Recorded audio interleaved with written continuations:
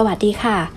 ใครที่ใช้แอปจดโน้ต Notability อยู่ และอยากจดโน้ตไปพร้อมๆ กัน 2 งานในหน้าจอเดียว โดยที่ไม่ต้องสลับกระดาษเปิดหน้าใหม่ ให้ยุ่งยาก ทีมงานมีวิธีการง่าย ๆ ไปชมกันเลยค่ะ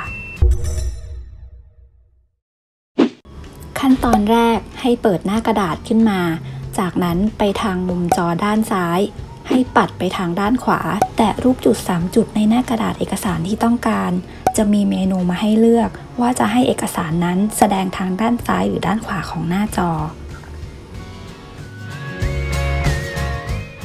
เมื่อเลือกได้แล้วก็จะพบว่าเอกสารถูกเปิดออกมาคู่กับเอกสารเก่าที่เราเปิดมาตอนแรก ตอนนี้ก็พร้อมใช้งานทั้งสองหน้ากระดาษแล้วค่ะ